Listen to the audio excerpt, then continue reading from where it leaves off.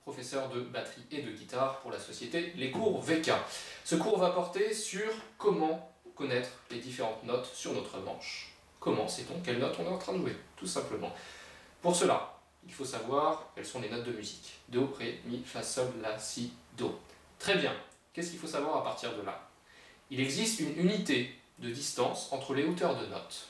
Par exemple, quand je passe de cette note-là à cette note-là, je suis monté. Vous pouvez entendre que cette note-là est plus aiguë que celle-ci.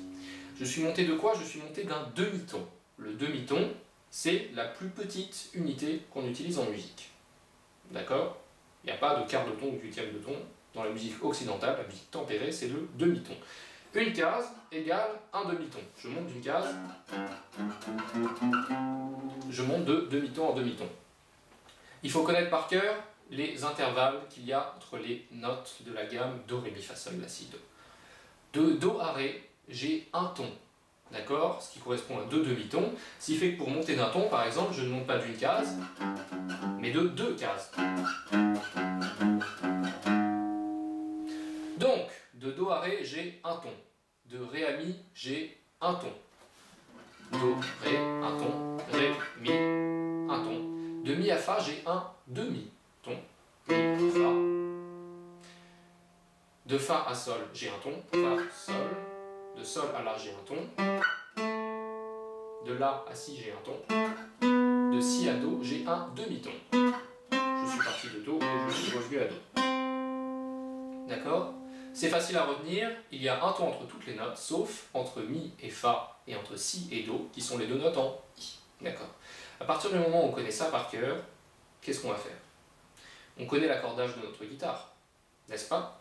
Donc on sait de quelle note on part quand on joue la corde à. Par exemple, si je joue cette corde-là, je sais que c'est un Mi, parce que je connais l'accordage de ma guitare, Mi, La, Ré, Sol, Si, Mi. Très bien.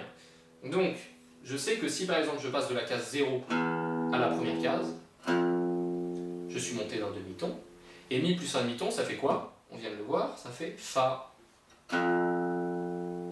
Ensuite, pour passer à sol, par exemple, je sais que de fa à sol, il y a un ton, donc je vais monter de deux cases. De sol à la, je vais encore monter de deux cases, puisque je sais qu'il y a un ton. Ok?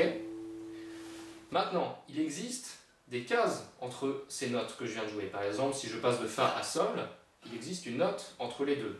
Quelle est cette note? C'est une note que l'on appellera altérée. Il existe deux altérations, qui sont des petits signes qu'on met à côté de la note. La première altération augmente la note d'un demi-ton, c'est le dièse. La deuxième altération diminue la note d'un demi-ton, c'est le bémol. Par conséquent, quand je passe de Mi à Fa, bon, bah, je passe de Mi à Fa, quand je fais Fa plus un demi-ton, je ne suis pas en Sol, je suis en Fa dièse. Et pour passer en sol, il faut que je fasse Fa dièse plus un demi-ton. Voilà. Donc ce Fa dièse, cette note qui se trouve entre Fa et Sol, correspond à la fois à Fa dièse ou à Sol bémol. Si je fais toutes les notes de ma corde de Mi, comme ça par exemple, ça va faire Mi, Fa, Fa dièse, Sol, Sol dièse, La, La dièse, Si, Do, puisque entre Si et Do il n'y a qu'un demi-ton, Do, Do dièse, Ré, Ré dièse, Mi, Mi plus un demi-ton, Fa, Fa dièse, etc..